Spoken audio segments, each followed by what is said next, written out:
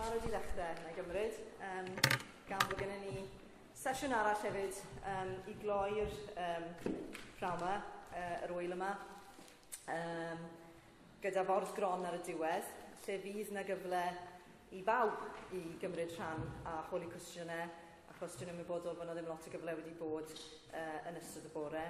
Beth bynnag, um, diolch chi am ddod nôl. Dwi'n siŵr bod uh, pawb yn, yn hapus iawn i fod yma a bod yn ddigwyddiad mor mor bwysig a mor werthfawr. Mae gennym ni llond uh, llwyfan o, o bobl i gymryd rhan yn y sesiwn yma, tiriogaeth a hawliau iaith. Sian Hwys ydy, ydw i o Gymdeithas yr Iaith.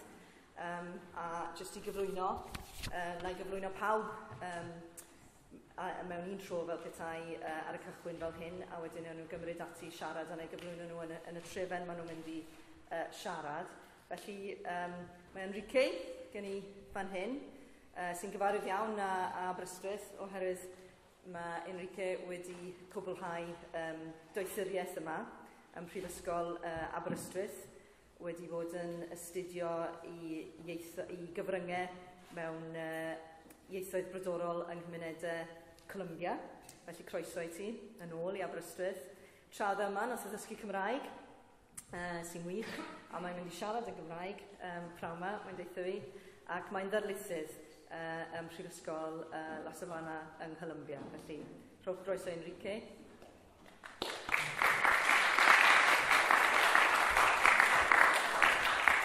Uh, wedi dod o bell hefyd, mae Ben Gregory o Ben y Groes yng Ngwynedd ac mae Ben wrth gwrs yn aelod ac yn wir yn uh, wedi gwneud llawer iawn o waith trefnu i ymgyrch uh, Cymru cefnogi Nicaragua ar hyd y blynyddoedd ers sefydlu'r um, mudiad Mae yn dydd fi bod e wrthi yn trefnu i ddeuddegfed uh, ymweliad dirprwyeth i Nicaragua a dwi'n falch iawn i gallu dweud mod i'n mynd a mae yna rhai pobl yn fan hyn sydd eisiau mynd uh, ac sy'n mynd i fynd uh, i gwrdd â mediadau ac yn y blaen yn, yn Nicaragua bydd e'n siarad am rhai ysfyllfa rhai cymunedau ieithoedd brodorol yn, yn Nicaragua ran hawliau iaith a thiriogaeth.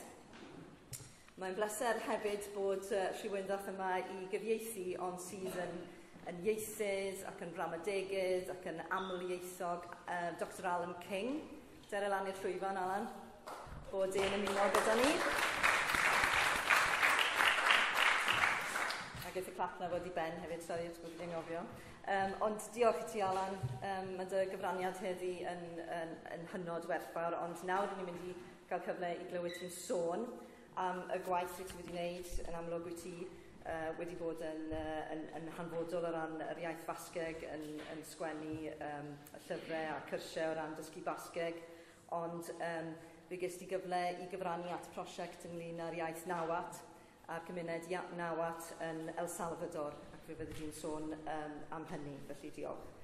Um, bwysig hefyd iawn i ni fel cymdeithas bod hywel yn gallu bod gyda ni prawn yma, um, Howell Griffiths, mae'n ddarlithydd yma ym Mhrifysgol Aberystwyth mewn deiryddiaeth, ond mae Howell wrth gwrs ers uh, amser wedi bod yn ymwneud ar ymgyrch uh, cymunedau um, yng, yng Nghymdeithas yr Iaith a fydd yn sôn um, ar hyd y thema yma am waith a chyfraniad y gymdeithas.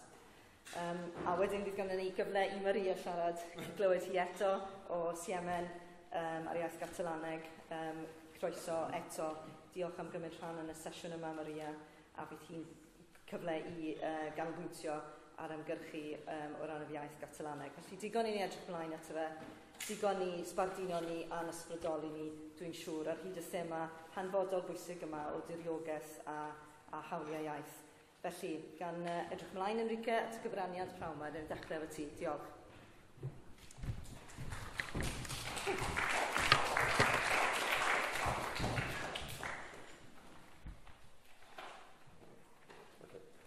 Wel, diolch yn fawr iawn um, i Gymdeithas ar Iaith am um, y wahoddiad i ddod nôl i Aberystwyth. Um, byddai'n ceisio wneud fan cyflwyniad i yn Gymraeg, ond dwi ddim yn siŵr os byddai'n gallu dweud popeth yn Gymraeg, um, oherwydd byddai'n defnyddio Sbeinig pan dwi ddim yn gallu dweud rhywbeth yn Gymraeg. A byddai'n uh, siarad am y sefyllfa o pobloedd frodorol ac ieithoedd lleafol yng Ngholombia a hefyd o, o cyd-destun America Latin. Wel, uh, mae bob wlad yn America Latin yn wahanol. Mae um, rhai o'n nhw yn cael llawer um, o rwpeu um, brodorol, a llawer ohonyn nhw yn cael um, llai. Um, dwi'n meddwl mae Colombia yn child, uh, wyddeg neu mwy na wyddeg o grwpau brodorol. A, a tro nesaf. Yeah. Ond mae'r poblogaeth o'r uh, pobl brodorol yn Colombia yn lai na dwy o gant, um, dwi'n meddwl, yn Colombia.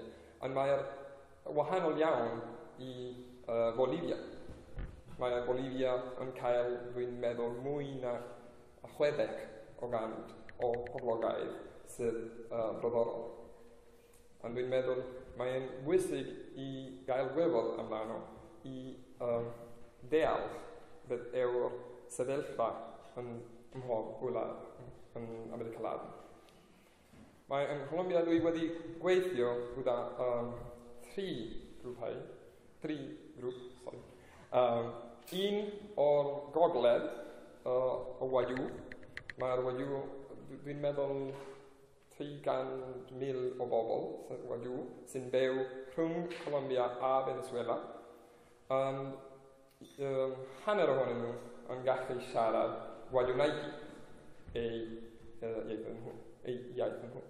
Um, hefyd, dwi'n weithio gyda'r pobl o Cauca, o pobl NASA, ond mae yn um, yn yr ardal Cawca, ond byw llawer o um, grwpau wahanol, hefyd uh, Gwambianos a hefyd o'r Wa, yn hefyd um, Ffini, uh, pethau o'r grŵp eraill.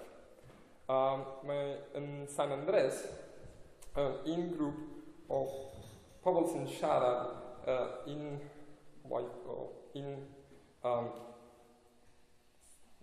in, um, fel, fel Saesneg, ond ddim Saesneg, fel pidgin. Mae nhw'n siarad creol fel y pobl yn Jamaica, neu rhywbeth fel yna.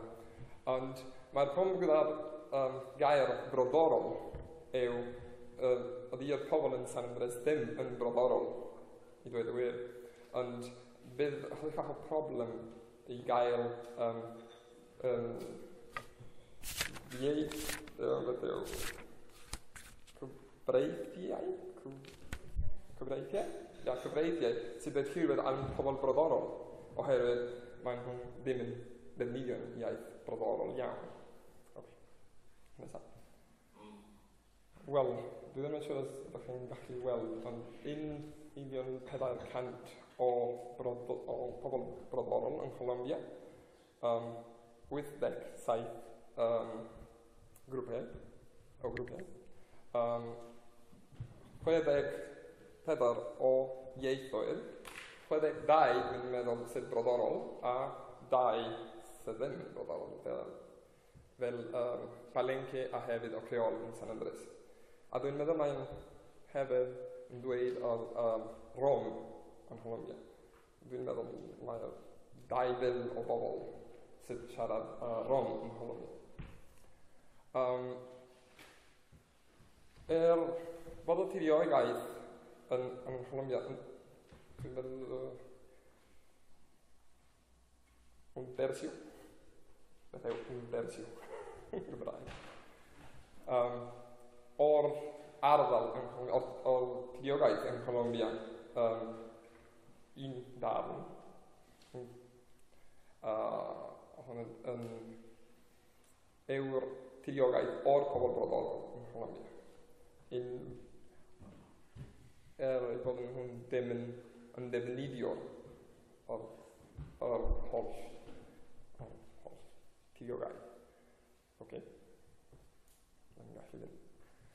Ond yn y cyd-destun yn Colombia gyda'r pobl uh, wadiw, mae'r pobl wadiw yn byw yn y gogledd, a mae'r gogledd o...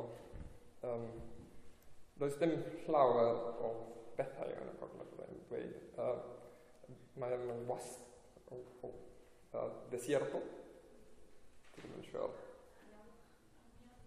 Yn ialw. Ok. Yn y gogledd, uh, mae'n hwn byw yn y rhwng Colombia a Venezuela. Um, ond mae hwn byw yn, yn y uh, ger o mynydd um, Macuira.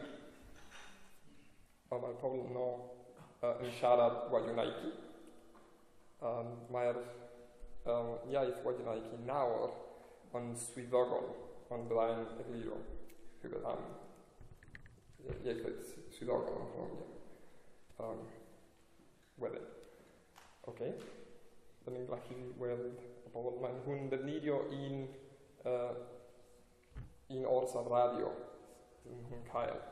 Uh, oh no, e cosa la maquira, cucuna la maquira. Uh, ah, e, e, e, e, e, e, mm-hmm.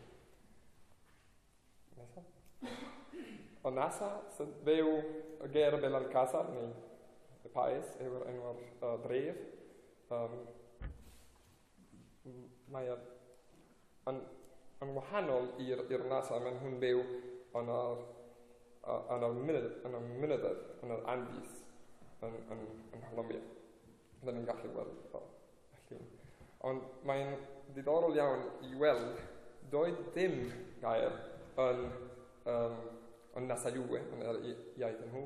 Um, ddim ond o'r arwyr fyna, sydd dweud uh, ble i fynd os bydd um, um, yr afon yn, yn bod yn, yn codi. Ia.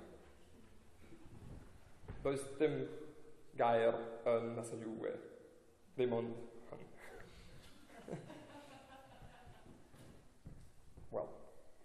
llonydd haf. Yn um, San Andres yw Ynys neu Ynysoedd yn y Cariben. Okay. Wel, beth yw'r uh, cymharu yn, yn America Latin? Um, Dyn ni'n um, cael ein um, cyfansoddiad newydd a 1991. A uh, roedd y cyfansoddiad yn dweud mae pobl brodorol yn rhan o'r um, pobl, o'r boblogaeth yn Colombia.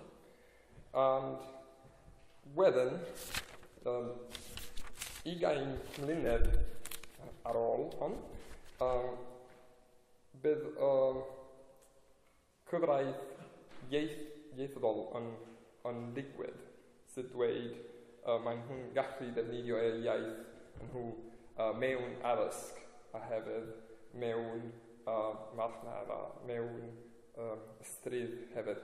A bydd um, o'r enwau priod o'r mynyddoedd a o'r afon uh, yn gallu gael ei enw ar o fapiau yn Colombia.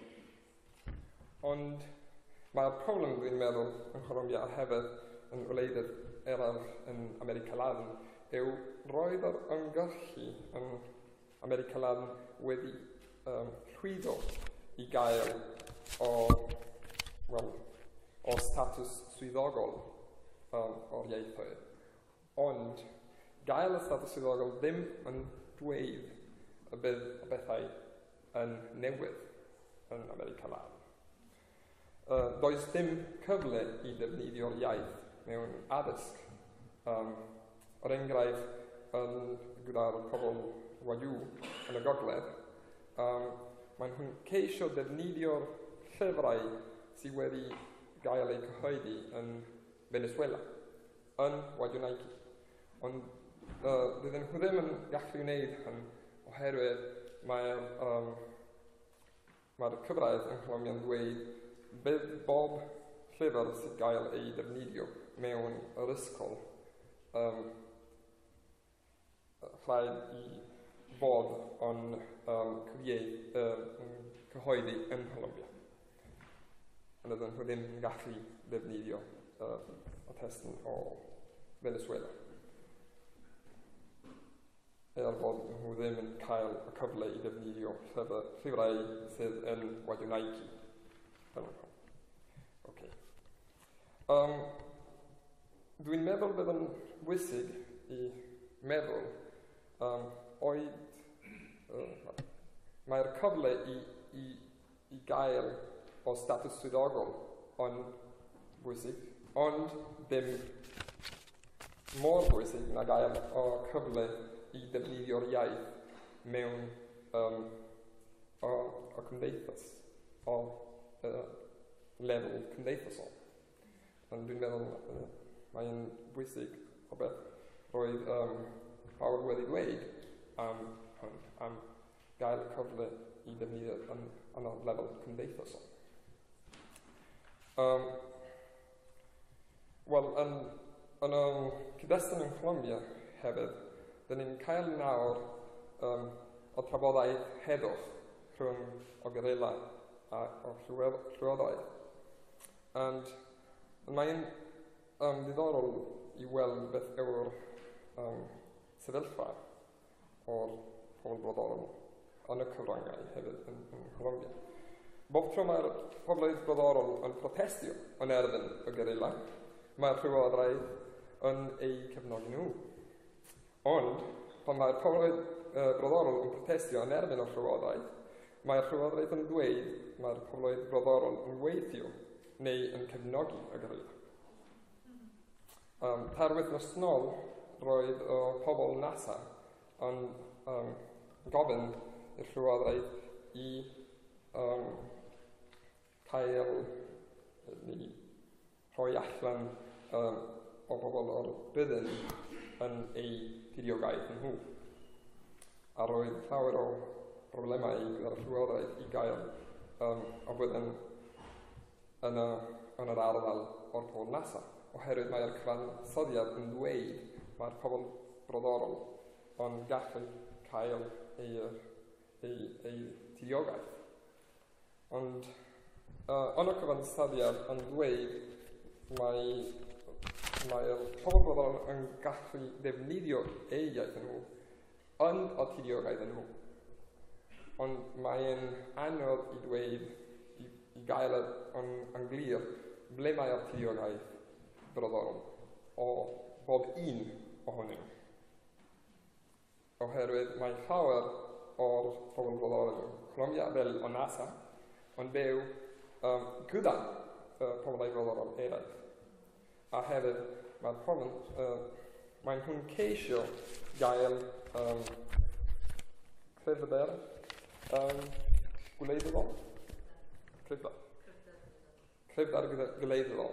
Um, a i wneud hyn, mae'n hwn um, defnyddio'r um, er, uh, Sbeineg yn lle eu ieithoedd nhw.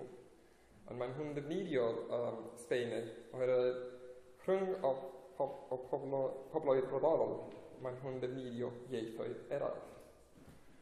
Ond y, y problem gyda'r cyfryngau uh, pan mae nhw'n eisiau ddefnyddio radio neu ddefnyddio teledu, yw mae, mae nhw'n um, ddefnyddio radio i wneud um, rhywbeth uh, önszének.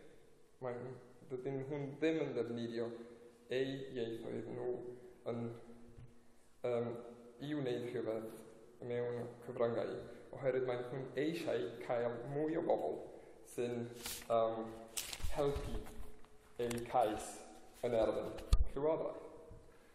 Um,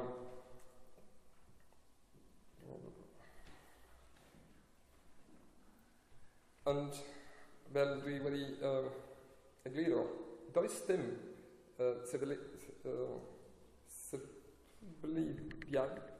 um, ble mae'r pobl yn gallu ddysgu um, ieithau brodorol. Mae'n anodd hefyd oherwydd roedd o llywodraeth yn dweud bydd rhaid i bob person yn Colombia yn siarad Sbeinig a Saesneg mewn uh, deg mlynedd. Ond does dim gair am siarad ieithoedd brodorol.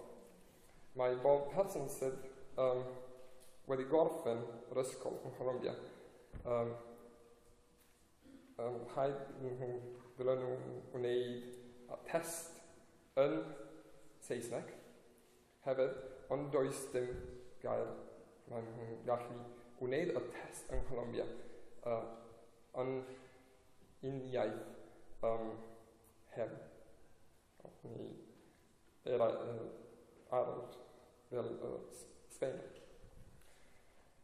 Um, er ei fan nhw wedi newydd yr, um, yr cyfraith o'r iaith yng Nghymru um, oherwydd o'r ymgyrchu o'r uh, cyfraith roedd o'n Nghymru. Um, roedden nhw wedi wneud yn ymgorch um, o bobl nesaf mae nhw wedi um, cerdded o Filan Casar yn gallu fynd yn ôl i'r map. um, o fel Alcázar i Bogota roedd hyn um, y siwrni chwe chweddiwrnod sydd maen nhw'n cerdded i gael y cyfle i siarad gyda, um, gyda rhywun o'r, or gwlad. Ond roedd o president uh, yn 2006 ddim yn siarad, roedd e ddim yn siarad uh, gyda'r pobl brodorol. Ond mae'r president newydd yn wneud hyn uh, wythnos uh, diweddar. Ond yn i'n meddwl, mae'n weithio hefyd gyda'r gyda syniad o'r trafodaeth heddwch roedd o, o pobl roddol yn dweud mae nhw'n gallu gweithio am a helpu a gyrila a hefyd o rhywodraeth i um, wneud o heddwch yng Nghymru. Wel, o pwnc dwi eisiau dweud yw, y, y, i Gymru yw, mae'r syniad o gael um, o statws swyddogol yn bwysig, ond dydy hyn ddim yn bwysig um, iawn, dwi'n meddwl. Mae'n um, mae'n well i gael y cyfle i ddefnyddio'r iaith yn y lefel cymdeithasol. Oherwydd roedd um, o boblogaidd roddorol yn Nghymru wedi cael y cyfle i gael ei iaith, um, fel um, iaith um, swyddogol, ond fel dyn ni'n dweud yn Colombia, entre el dicho y el hecho hay mucho trecho. Ond dyn ni wedi cael rhywbeth sydd wedi cael ysgrifennu, ond mae'r pobl ddim yn gallu ddysgu'r iaith, defnyddio'r iaith a siarad a'r iaith yn Diolch yn fawr.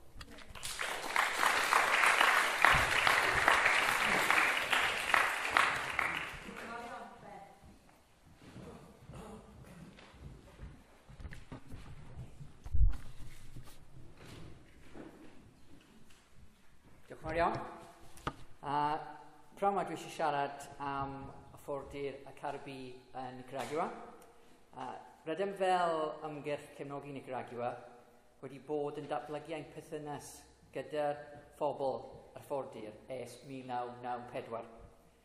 I dweud y gwir, uh, mae perthynas wedi datblygu oherwydd ar ein dirprwriaeth cyntaf yna uh, dawn o mlynedd yn ôl, oedd pedwar aelod y Cymdeithas Riaeth Wedyn roedd hi'n naturiol i cymryd diddordeb yn y proses autonomi ar yr affordir, a'r heriau oedd ieithoedd yn ei wynebu, a sydd mae cymdeithas sifil, sefydliadau a gwleidyddion wedi ymateb i hyn. Mae Nicaragua wedi cael ei rannu yn dau, ffordir y môr tawel ac y ffordir y Caribi. Cafodd ochr y môr tawel a'i coloneiddio gan y Sbeinwyr a fel gwnaethant trwy llawer o Americaladin, lladdent y ieithoedd brodorol yn ogystal â llawer o bobl cynhenid. Yn Nicaragua, diflannodd y ieithoedd Matagalpa, Monimbo a Sutiaba.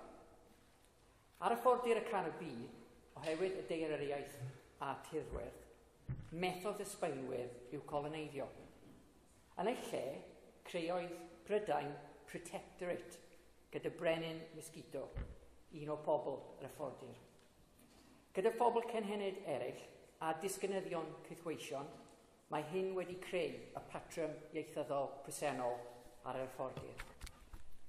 Yn fras, mae 150,000 o bobl yn siarad y iaith mosquito.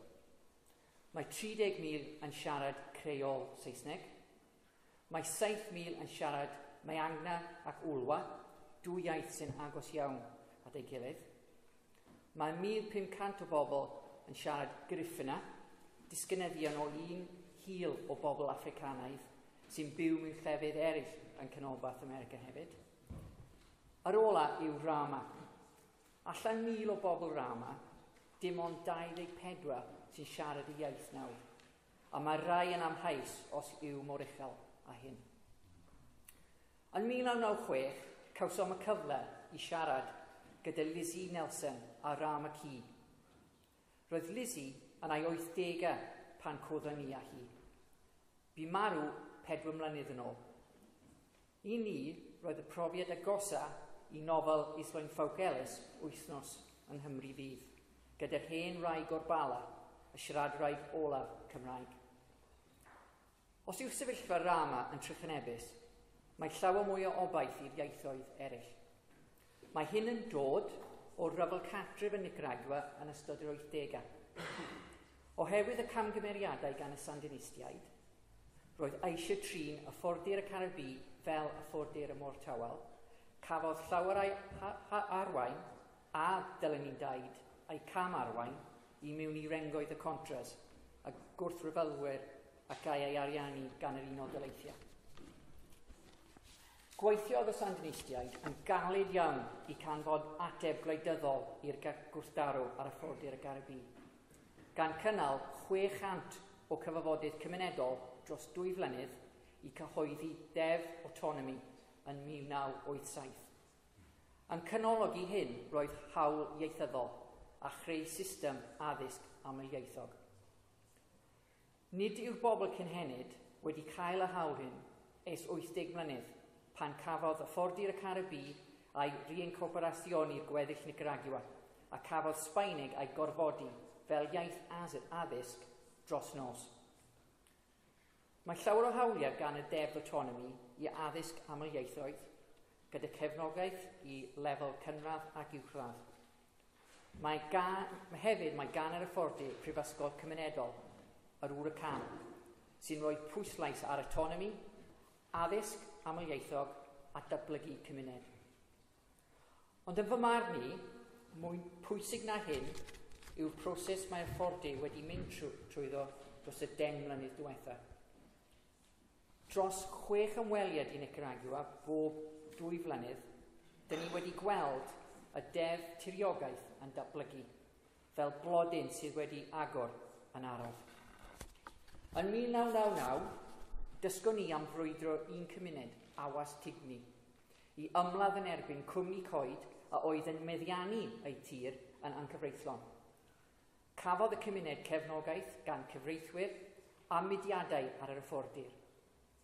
Aeth yr achos i llys hawliau dynol rhwng America, ac un o'i canfyddiadau oedd y dylai Nicaragua pasio deddf tiriogaeth, uh, land demarcation, a roi teitl y tir i cymunedau cynhenid.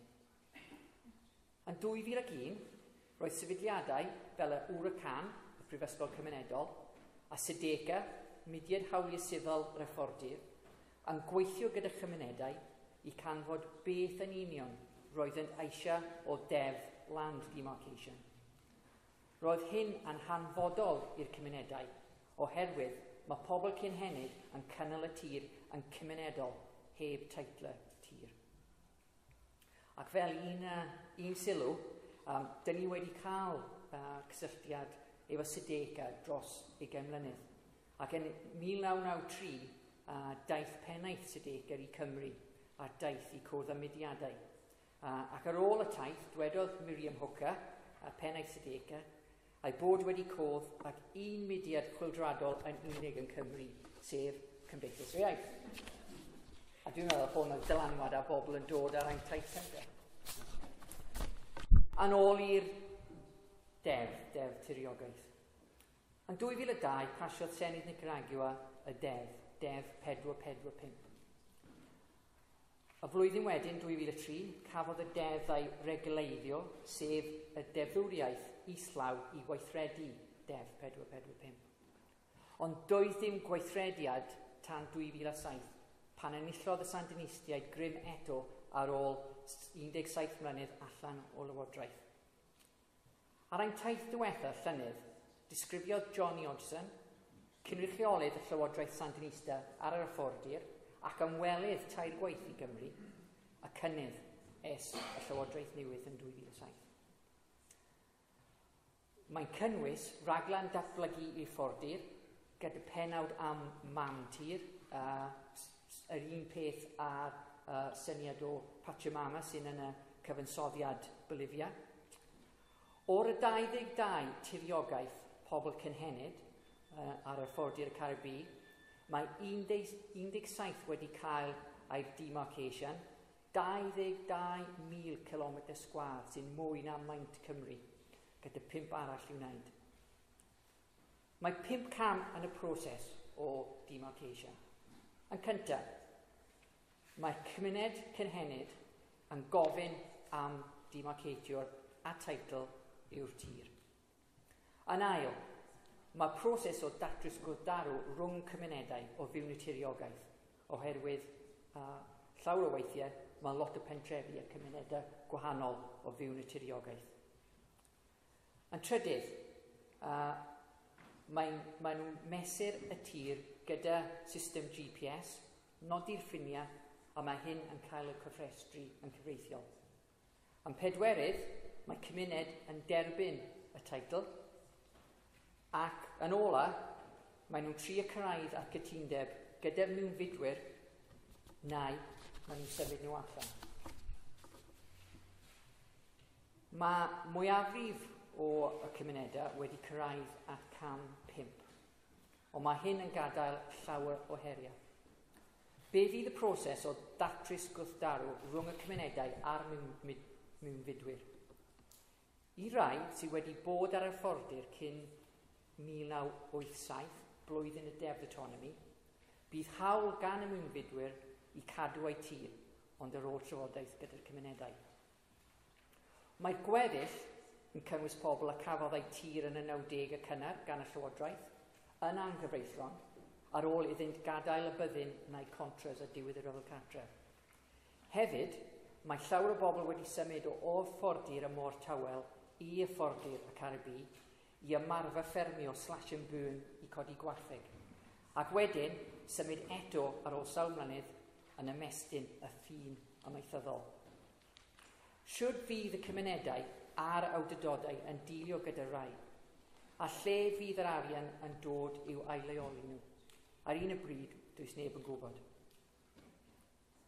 Pa mae hyn yn pwysig i Cymru a ddrwydr dros y Gymraeg? Dyn ni gyd yn gwybod y pwyslais mae Cymdeithas yr Iaith wedi roi a deddau iddo fel rhan o gyfynion i cefnogi cymuned y Cymraeg. Ond mae elfen arall hefyd.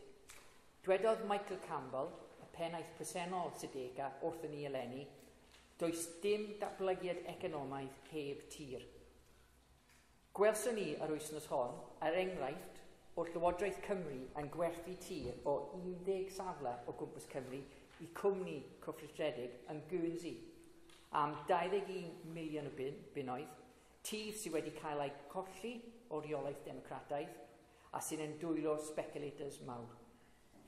Os da ni cymaru hyn gyda beth sydd wedi digwydd yn yr Alban, mae llawer o mwy o gefnogaeth yn ei gweledigaeth ac yn ariannol i cefnogi ac ariannu cymunedau i prynu eu tir fel salfaen datblygu cymunedol ac economaidd. Nid yw sefyllfa yn Nicaragua yn perffaith, ac ni fydd y proses o hyn ymlaen heb eu problemau. Ond mae Def 445, y Def Tiriogaeth, sy'n cydnabod am y tro cyntaf yn cyfreithiol tir cymunedol yn un o enghreifftiau yn America Ladin sy'n amddiffyn hawliau pobl cynedid a thrw hyn a ieithoedd. Diolch yn fawr.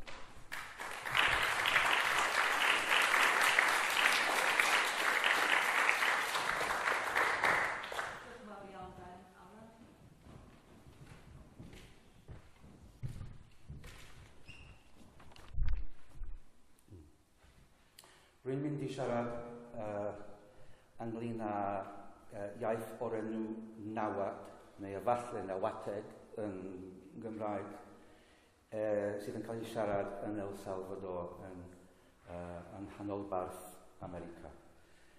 Uh, Tystiolaeth personol fydd hwn, uh, just i trio uh, esbonio fy mhrofiad i fel unigolyn a felly dwi'n gobeithio rhoi blas o sut mae gweithio efo ieithoedd brodorol eh, America Latin um, mae'r mae, uh, iaith nawad uh, yn perthyn i'r un teulu a nawatl neu nawatleg sydd yn cael ei siarad yn Mexico ond uh, meth nhw esgaru tua mil blynyddoedd yn ôl ac uh, mae rhai bobl yn meddwl bod nhw yn, yn dal uh, yn un iaith ond dwi ddim yn, dwi ddim yn meddwl yn ymarferol uh, bod hynny'n wir um,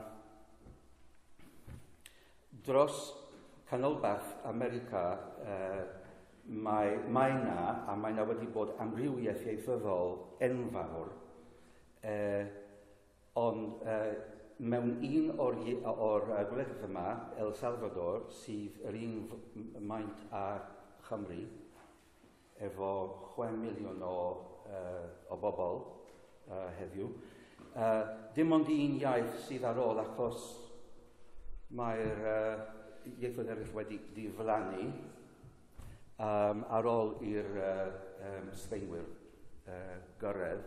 A um, ychydig iawn iawn o bobl sydd, sydd yn dal yn siar, uh, i siarad yr iaith na, sef nawad.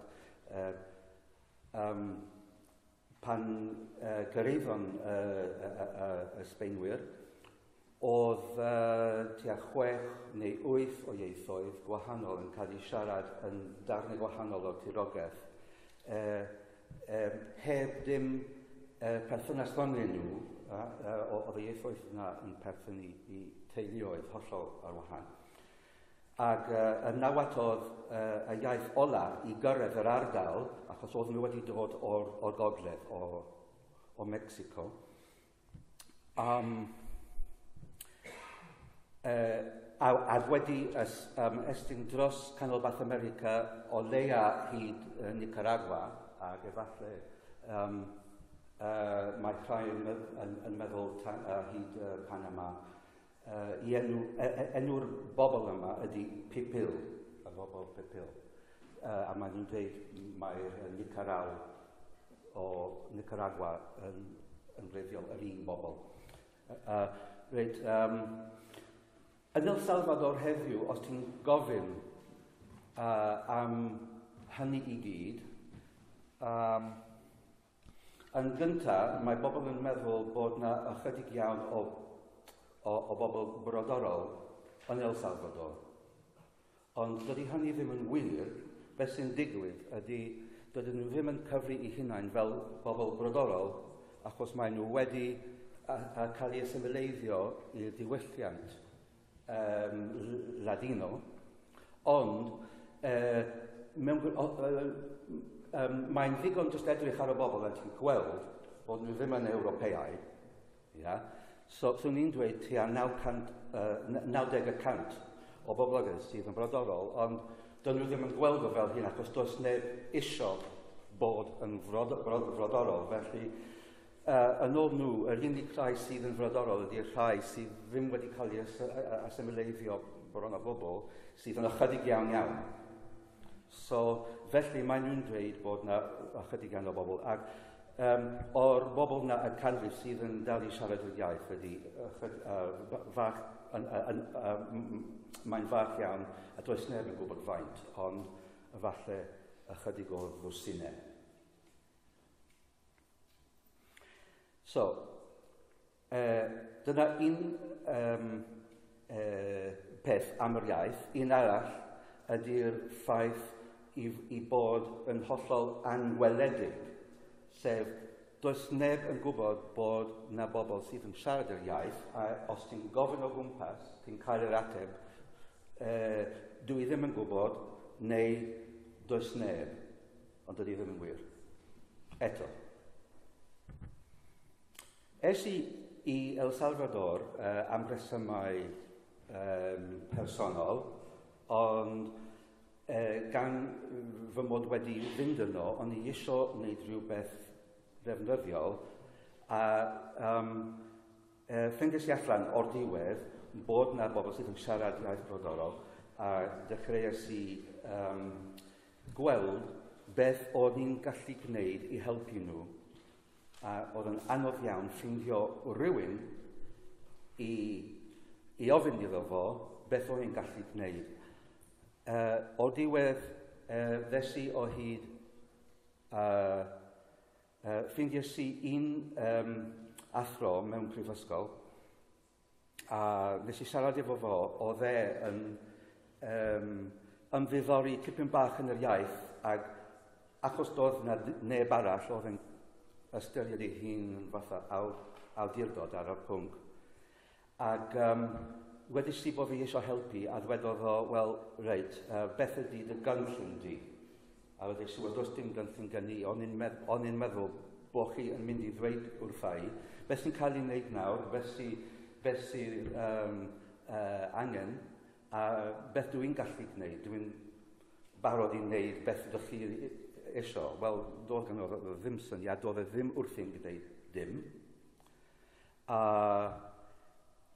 a, wel, a wedodd e, iawn, wel, wel uh, dewch yn ôl, a dwi'n mynd i meddwl amdano. Ddes i nôl, uh, cawn, cawsom ni gyfarfod, a dwedodd e reid, wel, dwi wedi meddwl beth wyt ti'n gallu gwneud. Nath o ddangos Uh, achos oedd e yn gweithio yn y brifysgol yma, brifysgol preifat, um, yn adran ieithoedd yn dysgu Saesneg. A nath e ddangos llyfr testyn Saesneg oedd nhw'n defnyddio i, i dysgu um, uh, Saesneg i bobl yn ei arddeg neu oedolion, a wedodd fo, dwi eisiau i ti troi hwn i nawad. A wedys i beth, Of course, doedd ni ddim yn medru nawad. Um, ond dwi'n meddwl bod fe wedi meddwl, oce, okay, wel, felly, beth ti'n mynd i wneud ydy mynd at uh, ychydig o bobl sydd yn siarad i'r iaith a gofyn i nhw, bob brawddeg, sut yn deud hwn yn nawad, sut yn dod yn nawad, a wedyn wneud lyfr efo hwn. Reit, wel, nes i ateb uh, wrth, um, i ateb, um, ddwedes i, wel, mae'n diddorol, ond dwi'n poeni am rhai pethau. Um, a dwi ddim eisiau mynd i mewn i gynllun, i brosiect, os dwi ddim yn gweld bod um, bo fy cynllun yn iawn. So dwi eisiau just egluro rhai pethau. Yeah. A nes i roi rester. Um, dwi eisiau gwybod e, ble ydych chi'n mynd i ddefnyddio'r llyfrau yma e, gyda bobl o baw oedran. Wel, wel, ble, wel, yn yr ardal lle mae'r iaith yn, yn cael ei siarad o hyd i raddau iawn, da iawn. Pa oedran? Plant ysgol? Iawn. Pa ysgolion, dwi ddim yn gwybod dim syniad, fel fydd rhaid mynd ar, i siarad efo ysgolion i weld os ydyn nhw eisiau cymryd rhan. Ie? Okay, so, um, pwy sy'n mynd i ddysgu'r iaith, ba, um, pa athrawon sydd, wel does dim athrawon, oedd e yn tueddu meddwl uh, bod hi'n gallu ddweud wrth uh, um, y bobl sydd i dal sydd, sydd yn dal i fod uh, sydd yn ei 80au neu 70au a dweud wrthyn nhw ewch i'r ysgol i ddysgu. A dweud i na dwi ddim yn meddwl. Um, uh, achos dyn nhw ddim i ddechrau dyn nhw ddim yn gwybod sut i'n wneud hynny a dwi ddim yn meddwl bod hynny just fel na yn mynd i weithio. Uh, dwi'n tueddu um, uh, cefnogi'r syniad o hyfforddi bobl sydd yn athrawon yn barod yn yr ysgolion, yn yr ardal yn barod. Ia? Uh, os dyn nhw ddim yn medru'r iaith, a dyn nhw ddim yn medru'r iaith, wel, fydd rhaid dysgu'r iaith iddyn nhw, a wedyn hyfforddi nhw i dysgu'r iaith i plant. Of course, bydd hynny yn cymryd amser, oedd wel, iawn, wel, dyna beth mae rhaid i gwneud. Uh, does dim lot o amser ar ôl, achos mae'r iaith yn marw, wel, bydd rhaid i, i ni brysio, A, a wedyn, uh, pwy sy'n mynd i wneud y llyfrau? Wel, o'n i'n dweud bod rhaid cael grŵp o bobl i wneud y llyfrau, ddim, ddim fi yn unig, a hefyd, ddyle, ddyle, ddyle grŵp yna o leia yn cynnwys bobl sydd o'r cymuned. Dydy bobl o'r cymuned ddim yn gwybod sut i wneud hynny, achos anghofus ang, ang i ddeud bod nhw yn drawd dros ben, heb addysg, uh, ddim yn gallu darllen ag ysgrifennu, wel, fydd rhaid uh, ed, uh, chwilio am ffordd i siarad efo nhw. I, sorry, ffordd i gweithio efo nhw. A fydden nhw yn dysgu yn y broses sydd yn gwych. Um,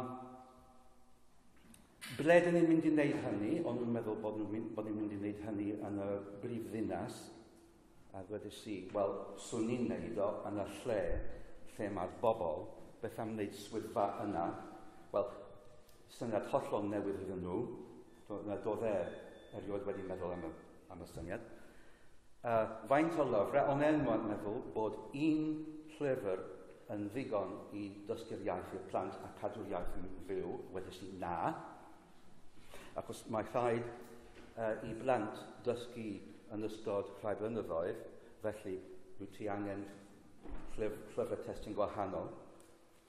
Uh, a wedyn, efo, efo pa adnoddau, wel, fydd y brifysgol yn rhoi arian a fydd y llywodraeth yn helpu achos dyn ni'n mynd i wneud cytundeb. O, iawn. Reit, eithon ni i weithio um, uh, a cychwynon ni uh, swyddfa uh, mewn, uh, mewn un o'r prif uh, uh, trefydd o'r ardal. Um, Ffindes i grŵp o bobl i weithio ar hynny, ond dim adnoddau, dim arian. Pan dwi'n dweud dim arian, sef uh, oedd y Brifysgol wedi dweud bod nhw'n mynd i roi, ond nath nhw ddim. a'r Llywodraeth Green Peth. A pan dwi'n dweud hynny, wel, doedd dim arian i dalu'r bobl a oedd yn mynd i gweithio ar y, ar y, ar y, um, y cynllun, dim ond fi. Yeah? Uh, ond hefyd, dwi'n Pan dwi'n dweud hynny, gawson ni stafell mewn lle cyhoeddus, achos uh, wano, eithon ni siarad efo, efo uh, le, lle o'r enw Casa de la Cultura, mae yna un yn pob uh, uh, tre. So, ga, gawson ni benthyg stafell, ond doedd dim bwrdd, dim cadeiriau, dim papur, uh, dim byd i ysgrifennu, uh, dim cyfrifiadur wrth gwrs, dim printiadwr wrth gwrs, a mae'n rhaid gwneud llyfrau. llyfrau. Um, so, um, beth wnaethon ni? Wel, dys trio. Gwneud efo beth oedd yn ni, yeah? ac, um, reit, yn ystod y broses yma, yn yr un flwyddyn pan ddechreuon ni, um, nath grŵp ohonon ni efo diddordeb um, dod at yn gilydd a penderfynu bod angen rhywbeth arall. Os ydyn nhw'n mynd, os ydy'n prifysgol eisiau cael prosiect iawn, ond dydy hynny ddim yn mynd i fod yn ddigon yn amlwg, felly rhywbeth arall. So, uh, creu, uh, creuon ni um, sefydliad yn hunain, yeah? o, o, o ddim, heb cyfnogaeth uh, swyddogol. Ac um, um, ddechreuon ni uh, gweithio efo hynny hefyd. Uh, oedd siaradwyr brodorol yn y, yn y gymdeithas yma.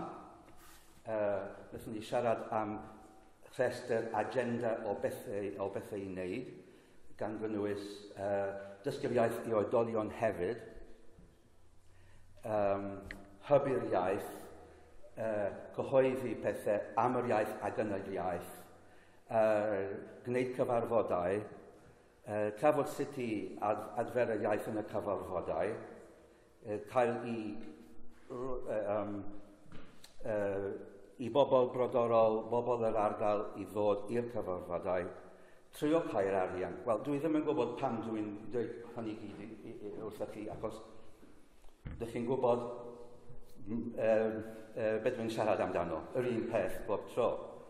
Ond dyna beth oedd rhaid gwneud. Reit, dwi'n mynd i wneud y hanes yn fyrach nawr, achos dwi'n gwybod bod yr amser yn mynd. Um, diwedd y dydd, doedd y brifysgol yna ddim yn licio beth oeddwn ni'n gwneud, a ges i fy nhaflu allan o'r uh, swydd ar ôl dwy flwyddyn, Yeah? Um, a felly, uh, oedd rhaid i fi um, gadael uh, El Salvador a ddod nôl i Ewrop, a um, dwi'n dal yn Ewrop nawr. Ond, um, wel, iawn, ond dwi ddim yn poeni am fy mod fi, ble, ble dwi, dwi'n poeni am beth sy'n digwydd efo hynny i gyd. Wel, i raddau maen nhw'n dal ymlaen, a dyna oedd, dyna beth o'n i isio, o'n i gweld, os um, oedd, yn, oedd y pethau yma yn gallu parhau. Wel, i raddau maen nhw'n parhau.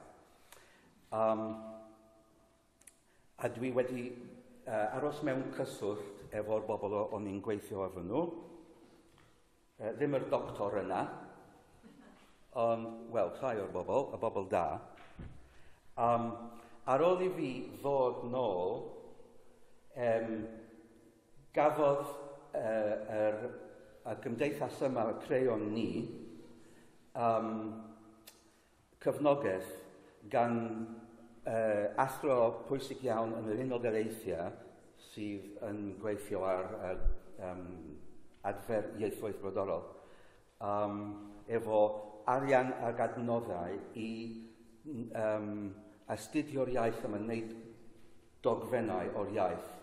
A mm, o'n i'n gallu asesu'r, asesu yn cymdeithas ni o, o fan ma a helpu nhw i benderfynu sut i wneud hynny. Oedd gan uh, uh, uh, yr athro Americanaidd yma dwy dewis, un oedd roi'r prosiect yma i, i Dr X yn ei brifysgol a'r uh, dewis arall oedd roi'r uh, prosiect i yn, yn grŵp ni. A ni gawson uh, prosiect, ni, ni gafodd y prosiect pam, achos o, a roedden ni yn, yn gweithio efo bobl brodorol o um, mewn gwirionedd. O, um, a, a beth wnaethon nhw, beth wnaethon ni, oedd gwneud cyfweliadau yn yr iaith efo, efo'r bobl sydd a bobl oedd ni'n gallu ffeindio a oedd yn siarad y iaith. So, uh, cyfweliadau ar fideo o rhwng hanner awr ag awr, ac oedd uh, y, y, y, y person oedd yn gofyn y cwestiynau yn siaradwr brodorol hefyd. So, sgyrsiau rhwng dau berson, a weithiau rhwng grŵp o bobl hefyd, a dog, wneud dogfennau o hynny o, o, o, i gyd. Uh, mwy na hugen o o, o dapiau, o, o, o fideos. Yeah. Um, ac uh, dwi'n falch iawn o hynny a dyn ni'n defnyddio'r pethau yna nawr i, dych, i, i dysgu mwy am yr iaith. Ond daeth hynny i ben, a wedyn uh, dechreuodd cyfnod arall. Um, nath rhywun o El Salvador, ddim siaradwr i hun, gychwyn taflen ar Facebook ja, uh, o'r enw Salvemos el idioma nawad. Um, uh, sal, sal, salvem, um, achub, awn ni achub yr iaith nawad neu rhywbeth.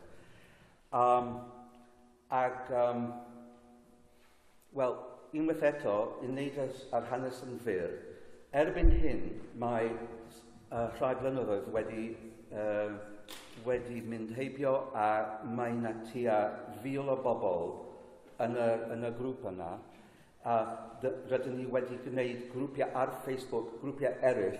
Mae yna un i bobl sydd yn dechrau um, dysgu'r iaith.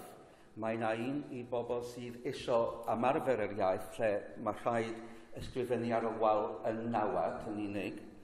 Uh, a mae yna un arall i bobl sydd yn dysgu sydd sydd uh, um, uh, ar gam uh, mwyaf, sydd yn gwybod mwy, sydd yn gallu, uh, lle maen nhw'n uh, darllen pethau a um, trio, trio dysgu mwy, ia? Uh, un arall lle maen nhw'n trin beth i'n neud i adfer yr iaith. Ac nawr mae, mae grŵp ohonyn nhw yn siarad am prynu um, cyfrifia, cyf, um, cyfrifiadur i, um, i roi i'r lle, i'r bobl, lle mae yna lot o brodorion sydd yn siarad a cael sgyrsiau rhwng nhw a bobl eraill sydd eisiau dysgu'r iaith. A mae rhai o'n nhw yn byw yn El Salvador, rhai yn dod o ardal yna, rhai ddim ond eisiau cefnogi'r iaith. A rhai yn byw uh, dros y byd, uh, achos mae yna diaspora mawr o bobl a mae lot o'n nhw yn cefnogi hwn. A mae hwn i gyd yn hollol newydd. Does neb wedi clywed am yr fath peth o'r blaen. O'r blaen. So dwi'n falch iawn bod fi wedi gwneud tipyn bach o donne fyna a cawn ni weld beth sy'n digwydd, ond dyna profiad sydd yn dweud rhywbeth da a rhywbeth drwg am sut mae pethau yna a dwi'n gobeithio bod hynny'n yn helpu. Cyn, cyn gorffen, dwi eisiau caniatad i ddweud rhywbeth yn y nawad, achos mewn iaith lle mae mor, mae'n mae, mae, mae cael ei siarad mor anaml, achos dydy'r siaradwyr ei hun ddim yn gweld ei gilydd yn aml, achos mae yna un mewn un pentre, un lle arall, a dyn nhw ddim yn cael siarad. A i fi, yn bersonol, mae'r ffaith bod y, siarad, uh, uh, yr iaith yn cael i glywed yn bwysig. So dwi just eisiau wneud rhywbeth.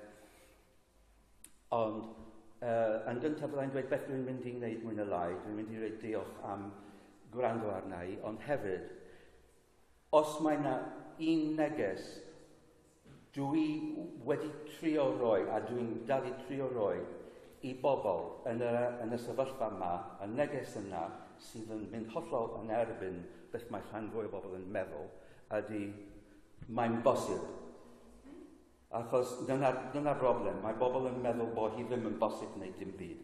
So mae'n bosib yn, yn nawad ydy kiaweli.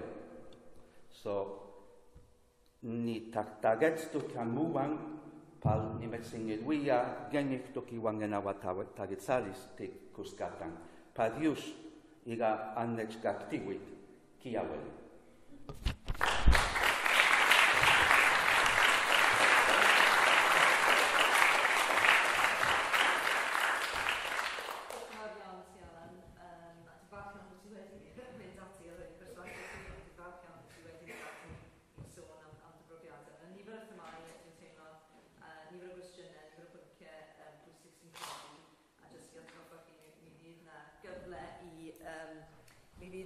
sori, o ran y cyfieithu, mi fydd yna gyfle i holi cwestiynau yn, yn, um, a codi uh, pwyntiau uh, o'r gynulleidfa um, yn ystod y ford gron. Ond mae gen i ddau um, cyfrannwr ar ôl um, ac felly um, Hywel wedi dod nesaf. Diolch o'r rawn da.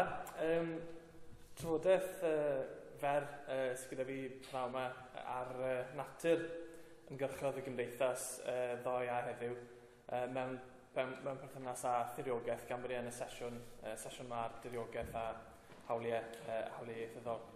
Um, fel y sians o'n uh, deurddiaeth uh, ymhwnci, a um, ffordd ni yn, yn diffinio mewn ffordd tir, tiriogaeth y maes deurddiaeth yw, yw darn o dir neu darn o, o fôr, y mae gwladwriaeth neu grwpiau gwleidyddol eraill yn ceisio reoli mewn rhyw ffordd.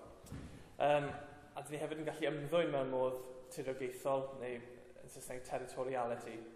Llywn ni, be ni'n golygu fanna yw gweithred o geisio rheoli uh, rhyw diriogaeth benodol mewn rhyw ffordd. A trwy hynny, ni'n ceisio dylanwadu ar gynnwys ardal mewn rhyw ffordd uh, arbennig. A mae hwnna'n gallu bod yn gynhwysol, neu mae'n gallu gwahardd uh, pobl neu bethau o'r diriogaeth. A mae tiriogaeth yn ymwneud gyda gofod, mae'n ymwneud gyda ffiniau, ond mae hefyd yn ymwneud gyda amddiffyn pethau hefyd. A yr hyn sy'n bwysig yn credu pan ni'n edrych ar uh, ymgyrchodd y gymdeithas uh, yn y gorffennol yw bod ymddwyn yn diriogaethol wastad yn ymarferiad mewn pwer mewn rhyw ffordd neu gilydd. Um, mae wedi cysylltu'n gryf iawn gyda symudedd pobl a mae'n gallu gweithredu ar sawl lefel uh, a, a graddfa o'r wladwriaeth hyd at y, y cartre mewn gwirionedd. Um, fi'n credu bod hi'n addas iawn uh, bod ni yn trafod perthynas tiriogaeth a iaith ar ben blwydd Cymdeithas yr Iaith yn hanner cant uh, lenni, oherwydd fi'n credu bod brwydrau dros, dros tiriogaeth yn gwbl greiddiol i wreiddiau uh, y Cymdeithas. Um, Fel mae Alan Llwyd uh, yn sôn yn ei astudiaeth ei o farddoniaeth y 60au. Mae'n sôn, er mae darlith radio enwog tynged yr iaith Saunders Ewis, wrth gwrs, dyn ni'n gyfarwydd â hi, oedd wedi sbarduno sefydlu'r gymdeithas uh, yn y lle cyntaf yn 62. Oedd na ymgyrch diriogaethol yn y cefndir yn lot bwysicach na hynny mewn gwirionedd, a fel mae Alan Llwyd yn gweud, darlith Saunders Lewis oedd y fydwraig uh, Tryweryn oedd y fan. A oedd y frwydr diriogaethol dros Tryweryn wedi gosod y cyd-destun mewn ffordd a wedi ysbrydoli a pharatoi Cymru yn ail hanner y 50au ar gyfer yr ymgyrchu estynedig oedd i ddod yn y 60au a'r 70au wedyn. A er bod aberth uh, teulu'r Beasleys i geisio cael biliau treth cyngor yn y Gymraeg wrth gwrs yn digwydd ar yr un pryd, dethon nhw ddim i ymlygrwydd cenedlaethol tan i Saunders gyfeirio at nhw yn, yn ei ddarlith. Hynny yw, oedd yr aberth honno ddim yn rhan o'r drafodaeth genedlaethol yn yr un modd ag roedd Tryweryn uh, tan i Saunders sôn amdani. Felly, oedd y, oedd y cysyniad yma o, o diriogaeth a iaith yn, yno yn, yn, yn barod um, cyn bod y gymdeithas yn cael ei sefydlu. A ar ôl i'r gymdeithas gael ei sefydlu, oedd, oedd yr athronydd, gwaith yr athronydd J.R. Jones yn, yn, oedd y dylanwad i waith e yn drwm ar y gymdeithas yn y cyfnod cynnar hwnnw, yn enwedig y syniad yma o uh, gyd-ymdreiddiad iaith a thir, y ffordd mae iaith, y, y rhyng berthynas gryf iawn rhwng, rhwng y ddau beth yna, rhwng yr iaith a rhwng y tirwedd. A er enghraifft, G.R. Jones yn dweud, y mae angen ar ddyn am gynefin yng ngwactod di ben drawdod gofod. Mae'n siŵr sy'n mae cyfeithi di ben drawdod, yn uh, poblog. Um, y mae angen ar ddyn am gynefin yng ngwactod di ben drawdod gofod. Hynny yw, mae arno angen ei leoli a'i angori mewn gofod. A'r gofod ehangaf y medr dyn sefyll ynddo theimlo yr un pryd ei fod yn rhan organig ohono yw deiar ei bobl ei hun. Y mae mil o linynau dirgel yn ei glymu wrthi. Um, felly, oedd y ddau beth yna, y dylanwad uh, cydymdreiddiad iaith a thir a dylanwad tryweryn yn drwm ar y gymdeithas yn credu ers y dechrau. Um, allwn ni edrych ar y mwyafrif o, o frwydra mawr y mudiad cenedlaethol yn yr ugeinfed ganrif fel brwydrau tiriogaethol. A dwi'n hwnna ddim yn syndod yn amlwg oherwydd mae cenedlaetholdeb o reidrwydd yn diffinio ei hunan trwy edrych ar y diriogaeth benodol Cymru yn yr achos yma. Ond mae'r Gymraeg hefyd wedi bod yn greiddiol i nifer o'r brwydrau yma. A mae hyn yn, yn tanynellu pwysigrwydd y cys, cyswllt yma rhwng iaith a thiriogaeth i, i, i, i Gymru, Gymru Cymraeg. Yn aml iawn mae'r brwydrau yma wedi bod yn rhyw fath o gyfuniadau cymleth o frwydrau dros yr iaith, yn erbyn militariaeth, yn erbyn y frenhiniaeth, dros hawliau ac yn amlach na heb uh, yn rhan o rhyw fath o frwydr dosbarth. Ond hefyd wrth gwrs mae pobl wedi ceisio rhannu Cymru ar hyd y 19fed ganrif mewn i diriogaethau gwahanol ar sail uh, yr iaith. Os ni'n meddwl yn amlwg am y cysyniad o'r fro Gymraeg, uh, fel, fel y cydarnau llafeddiadol yn y gogledd a'r gorllewin, a modelau pobl uh, fel Bolsom o'r, or fro Gymraeg, y Gymru Gymreig, uh, sef cymoedd y de, a'r Gymru Brydeinig, sef y dwyrain a rhannau o Sir Benfro. Um, felly mae'r ma, cyd-destun uh, i'r brwydrau cenedlaethol yma dros diriogaeth. A sy'n edrych ar dechrau gyda er enghraifft y tan yn llun uh, uh, pan, yn y 30au, pan llosgodd Saunders Lewis, DJ a Lewis Valentine o'r Ysgol Fomio yn Hynybeth ym Mhen Llun. Yn amlwg oedd gwrth ddiletariaeth a, a heddychiaeth yn, yn rhan o'r o'r rheswm tu ôl i'r ymgyrch yna, ond oedd wedi cryfhau um, trwy ddadle yn erbyn militariaeth ar dir Cymru yn benodol. Um, anwedig yn achos Saunders Lewis bod, bod cynlluniau arweinyddiaeth amddiffyn i, i adeiladu ysgol fomio yn digwydd ar hen di noddwyr beirdd, canolfan diwylliant Cymraeg. Oedd hwnna hefyd yn greiddio. Felly oedd y diriogaeth Cymru yn, yn, yn, yn y cefndir yn fanna hefyd a wedyn chi'n edrych ar enghreifftiau fel Mynydd Epynt yn, yn 1939 a 1945, pan hawliwyd tir e, ym Mhonseni ar gyfer hyfforddi milwrol, gorfodi cannoedd o bobl i adael y tir. A fi'n credu taw um, Gwynfor, uh, falle na ddweud, Gwynfor Evans a ddweud bod gweithred y swyddo rhyfel wedi symud ffin y Gymraeg um, filltirodd i'r gorllewin uh, mewn un, un gweithred. Um, a wedyn chi'n cael protestiadau Plaid Cymru yn erbyn hawlio tir gan y wynyddiaeth amddiffyn yn Rhosfynydd yn dilyn yr ail ryfel byd. A bych chi'n cael yn y ddoi enghraifft yma mewn ffordd ydy y wynyddiaeth amddiffyn ar un llaw Plaid Cymru a'r myndiad cenedlaethol ar llaw arall yn trio rheoli'r hyn sy'n digwydd ar ddarn penodol o dir Cymru. Um, a wynyddiaeth amddiffyn yn, yn, yn, yn ogystal â newid defnydd y tir yn newidio'r iaith oedd yn gymaint yn rhan o'r cymunedau hynny oedd yn byw na. Yna, yn amlwg, dath, dath Tryweryn y frwydr fawr dros diriogaeth a gollwyd yn, yn y 60au pan foddwyd Capel Celyn, er mwyn cyflenwi dŵr ar gyfer dinas Lerpwl. E, oedd hwn, mewn ffordd, yn frwydr oedd yn crisialu'r cyswllt cryf yma rhwng iaith a, a thiriogaeth. Um, trwy bwer gwleidyddol dinas Lerpwl neu diffyg bwer Cymru, um, llwyddwyd i reoli be oedd yn digwydd yno, sef dileu canolfan ddiwylliannol a ieithyddol oddi ar y map. Mae'n ffordd yna'n weithred mwyaf ymysodol o diriogaethol, um, boddi tiriogaeth gyfan, a thrwy hynny ceisio boddi uh, elfennau pwysicaf ohoni. A mae'r enghreifftiau yma o frwydrau tiriogaethol yn parhau i fod yn rhai pwerus a sbryledig um, i'n meddylfryd ni fi'n credu, oherwydd Mae'r cysyniad yma o, o amddiffyn tudiogaeth benodol lle mae'r Gymraeg yn rhan mor anatod ohoni yn enwau llefydd, enwau nodweddion y dirwedd, straeon, chwedle ac yn y blaen mor bwerus. Yn i'w trwy golli rheolaeth ar gynnwys y tir, dyn ni'n colli llawer mwy na hynny uh, hefyd. O wedyn, wrth gwrs, sefydlwyd uh, Cymdeithas yr Iaith yn y Chwedig, a, a mae nifer o ymgyrchoedd y Gymdeithas, allech chi weid bod nifer ohonyn nhw, os nad pob un ohonyn nhw wedi bod ar rhai elfennau tebygaethol yn perthyn iddyn nhw. Os gen edrych ar yr ymgyrch arwyddion ffyrdd yn y 60 a'r 70au, oedd yn ymgais i herio rheolaeth uh, y Wladwriaeth Brydeinig dros gynnwys Tirogaeth Cymru trwy sicrhau arwyddion ffyrdd dwyieithog. Yn yr un modd oedd ymgyrch y deddfiaeth newydd uh, yn y 90au yn ymgyrchu dros newid cynnwys y diriogaeth trwy sicrhau lle cyfartal i'r Gymraeg mewn gofod swyddogol a chyhoeddus.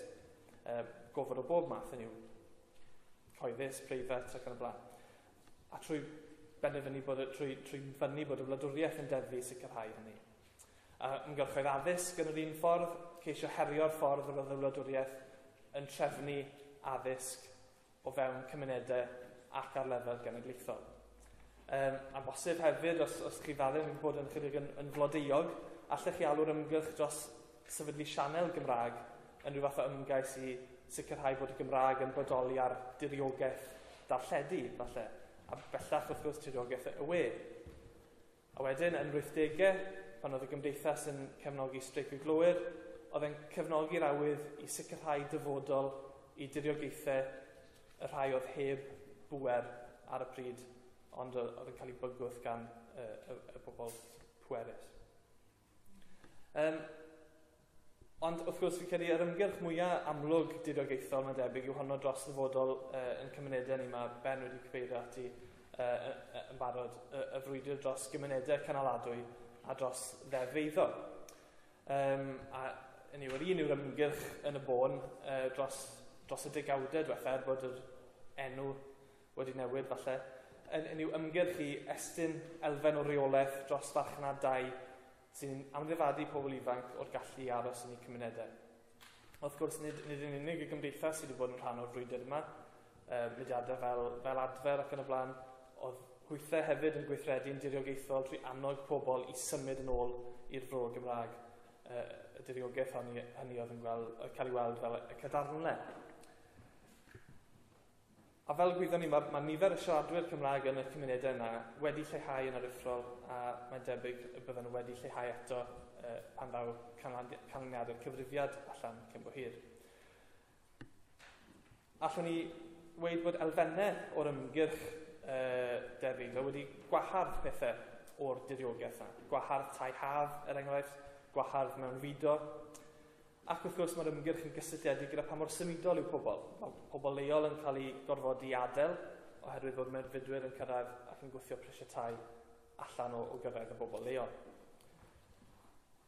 A mae hyn, mewn ffordd sefyllfa yma, yn gwrthod yr hawliau sylfaenol rydyn ni'n credu y dylai pob un o drigolion Cymru feddi arno fe, sef yr hawl i gartre yn ei cymuned a'r hawl i weld a chlywed y Gymraeg uh, o'i gwmpas neu o'i gwmpas a dyn ni wedi galw ar lywodraethau gyflwyno polisiau i wrth droi'r hyn uh, sy'n digwydd yma drwy sicrhau mesurau fel pethau fel asesu'r angen lleol am dau cyn datblygu tai newydd, rhoi blaenoriaeth i bobl leol a sicrhau bod cartrefi ar gael am rent teg. A mae hwn wedi dod yn fwy fwy rhan o'r ymgyrch ehangach dros gynaladwyedd cymunedol uh, ac amgylcheddol. Eto, yng Nghymru yn benodol, eh, mae cynnal o reidrwydd yn golygu bod rhaid sicrhau dyfodol eh, i'r iaith. Um, ar hyn o bryd, mae'r mae bachna dau yn enghraifft yn, yn gweithredu mewn ffordd sy'n golygu na fydd cenedlaethau'r dyfodol yn gallu profi'r Gymraeg i'r un graddau gyda ni heddi. A mae hwnna'n mynd yn groes i hanfadio, hanfo, un o hanfodion eh, cynnal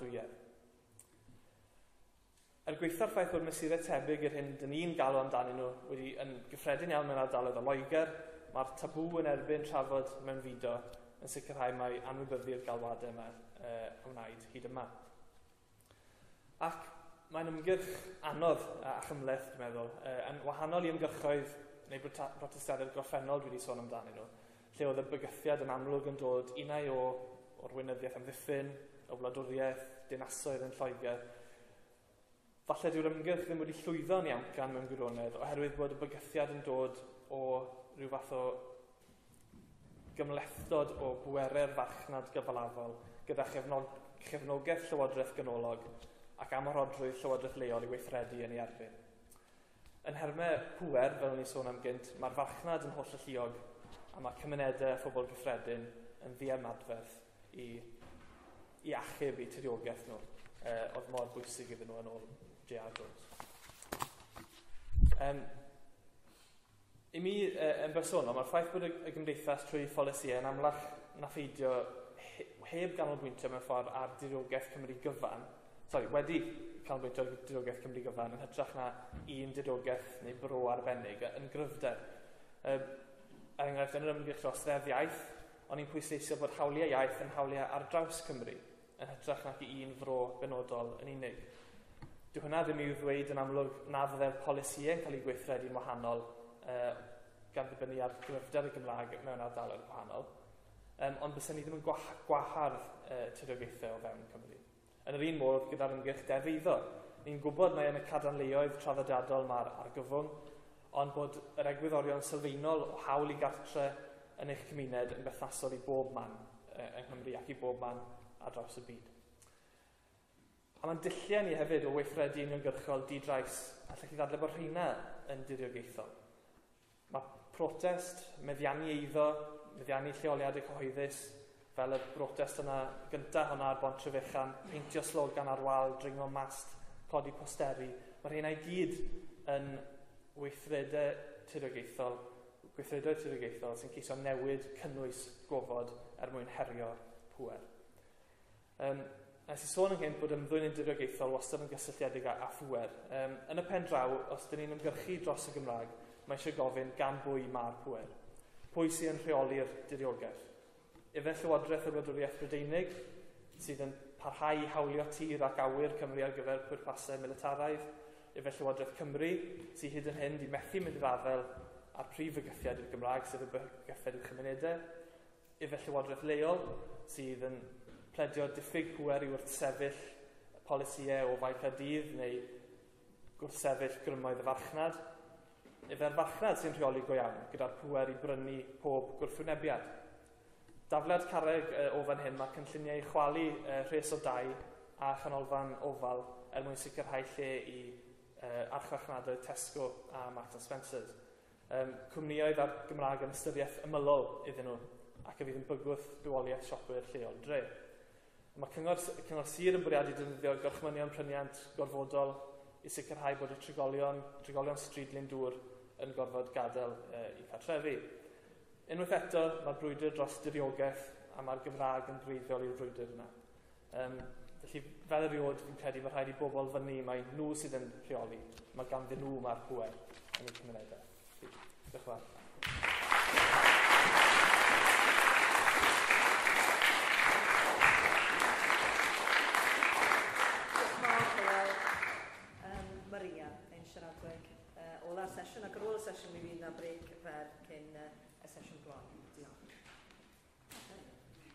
Diolch Albert.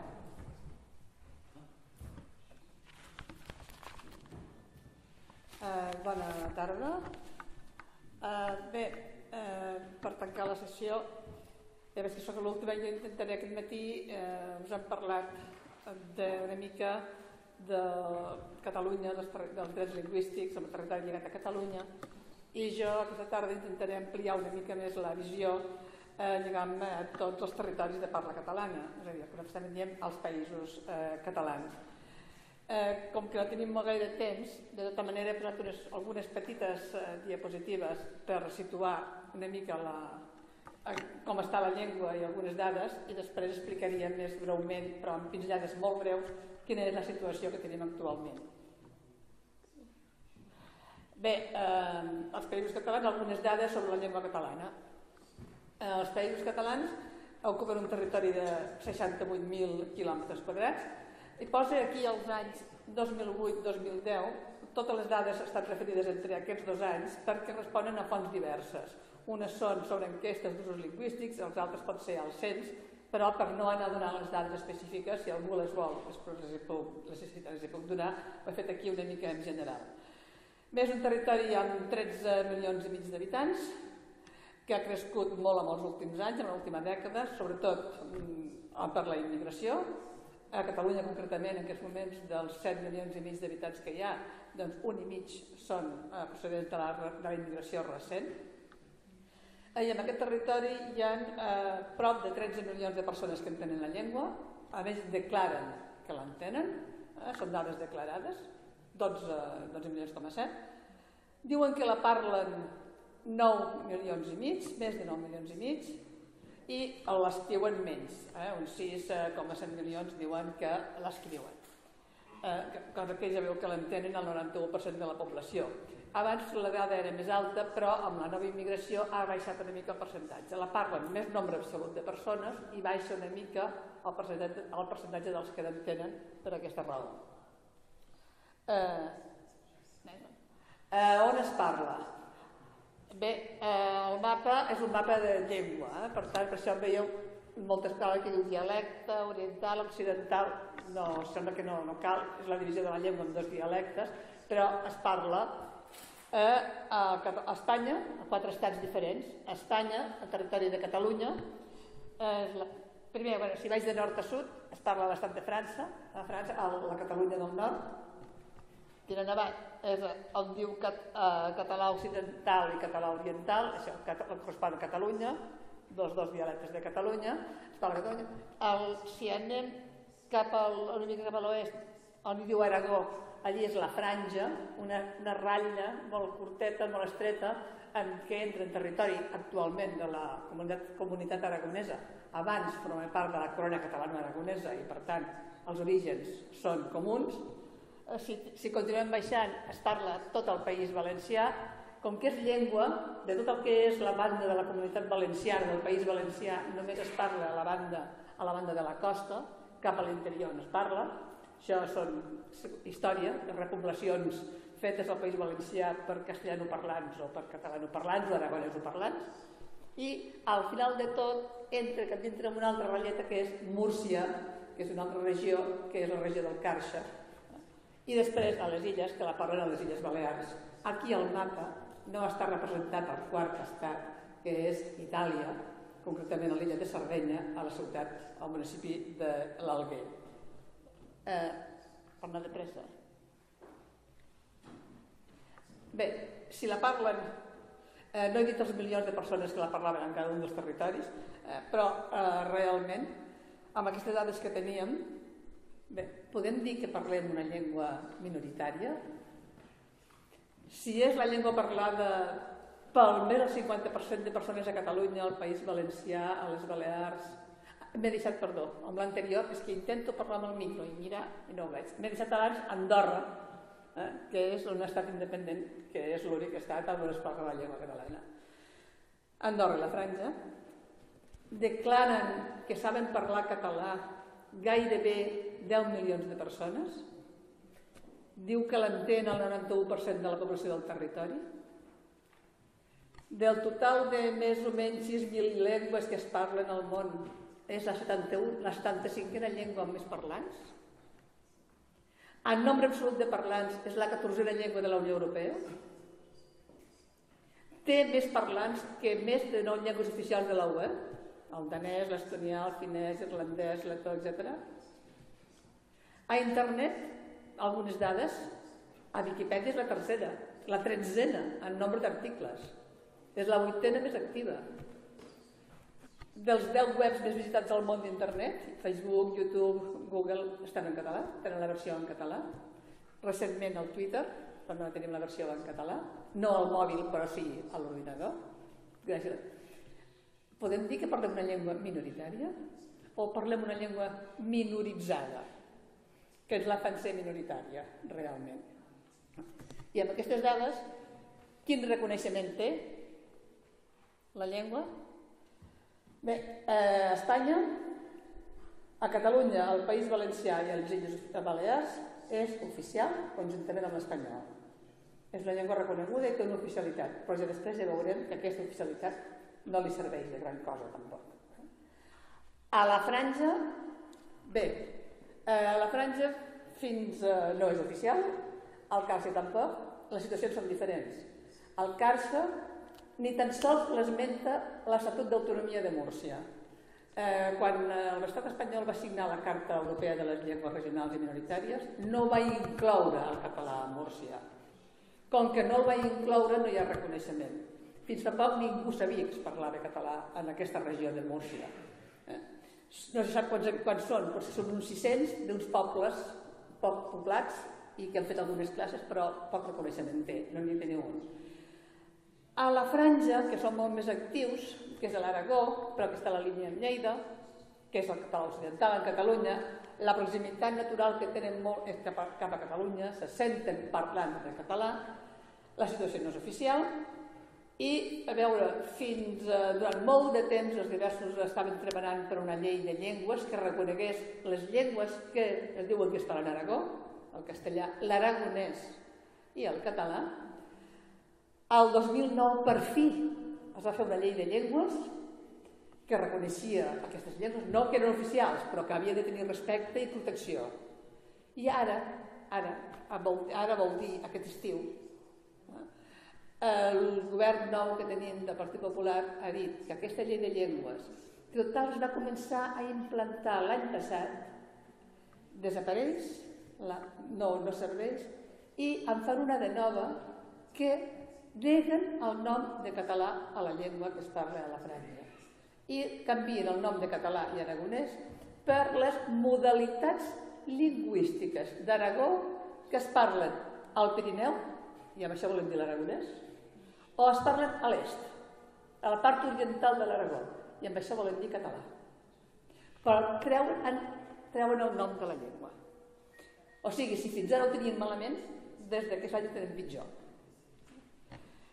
Eh, a França es parla la Catalunya del Nord, eh, no és oficial, la situació és la mateixa de fa anys, eh, amb ajudes. Positiu que l'any passat, o el 2010 em sembla, el Consell de Municipal de Perpinyà va signar una carta en favor de la llengua catalana, que no vol dir que sigui oficial, sinó que treballarà per la seva implementació i perquè es pugui treballar i que es pugui fer els rètols, etc. Andorra és l'únic estat que la té, és el que té com a única llengua oficial, però és un estat petit i té problemes, eh? té problemes perquè té la proximitat de França, té la proximitat d'Espanya, té molta immigració i aleshores no és la primera llengua de la majoria de la població andorrana. Eh, assignat per, per afavorir-ho ha signat convenis amb Catalunya per tenir la televisió, per tenir, per tenir i funciona, perquè li facin les pel·lícules en català. Eh, I bé, potser el més significatiu és que amb el sistema educatiu d'Andorra, que conviuen tres sistemes, l'andorrà pròpiament, l'espanyol i el francès, en els darrers anys hi ha eh, un augment de la matrícula dels nens a l'escola andorrana i un descens a l'espanyola i a la francesa. Això és esperançador. Eh, van canviar, estan canviant la tendència amb aquest aspecte d'Andorra. I bé, la ciutat de l'Alguer no està en la situació de les llengües que té la carta reconeguda a Itàlia. Mm, jo no veig per que no tenim, podria parlar llargament de totes, però com que no en tenim gaire, bàsicament en parlaré, de fet aquestes pinzellades de la Franja i d'Andorra i d'Itàlia, eh, una mica el que jo sí volia explicar és eh, la situació als, als tres llocs on el català és llengua oficial. A Catalunya, a les Balears i al País Valencià. La situació és molt diferent. I podríem dir de millor a pitjor fins ara, fins aquest any, també perquè estem en un moment de canvi total, eh, la millor Catalunya i després seria les Balears i la pitjor seria la situació a València. Eh, fet, a Catalunya la, el que ha sigut clau en tot el temps ha sigut la voluntat de tots els governs de Catalunya per la recuperació de la llengua, des del primer moment. Eh? Qual tot, el, l'espectre polític, excepte el Partit Popular, ha treballat per la recuperació de la llengua. I ha treballat perquè la llengua ha reconegut l'Estatut, que és la llengua pròpia de Catalunya, ha reconegut pel seu treball, pel seu reconeixement. I la prova és el sistema educatiu, que es fa tot, la llengua catalana s'utilitza normalment en català. El punt d'inflexió eh, és, eh, que marca un canvi és el canvi d'estatut quan entra el govern d'esquerres, del, Partit Socialista i amb la coalició, amb les esquerres, que volen, amb la bona intenció, jo dic, ho dic jo amb la bona intenció, és, és opinió personal, modificar l'Estatut per donar-li a totes aquelles coses que s'anaven fent una, una nova categoria i oficialitzar el que ja era de facto, el que ja es feia. I aleshores, amb aquest estatut, és eh, més ambiciós que l'estatut que hi havia fins aleshores pel minut.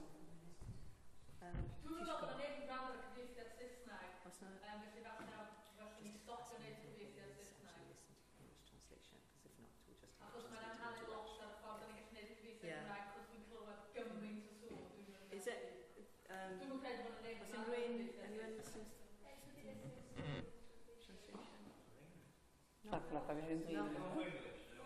No. No English. Okay, just... No. Yeah, just i Gymraeg. Just into yeah. Welsh. That's okay, sorry. Pa Paul, ya te lo explico, ya lo sabes. Y a més entens català. Okay, yeah. Okay?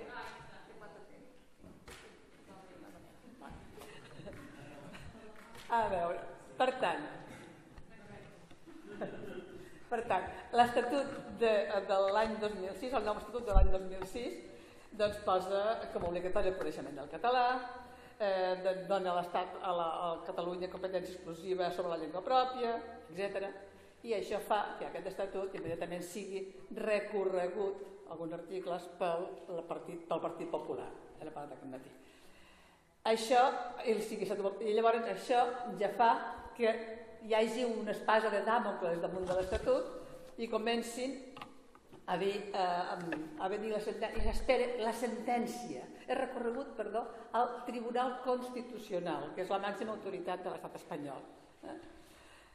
Eh, bé, mm, la sentència del Tribunal Constitucional es va fer esperar fins al 2010, fins, i aleshores, però aleshores va recórrer, va tirar endarrere tots les, molts articles de l'Estatut, i amb aquests articles doncs el que fa el Tribunal Constitucional és obre la porta a les sentències que després seran contràries al sistema d'ensenyament, eh, nega eh, el, el reconeixement de, la, de que el català sigui la llengua prioritària dintre de l'administració eh, i aleshores a partir d'aquí és quan les coses han començat a anar malament per a la llengua catalana a Catalunya.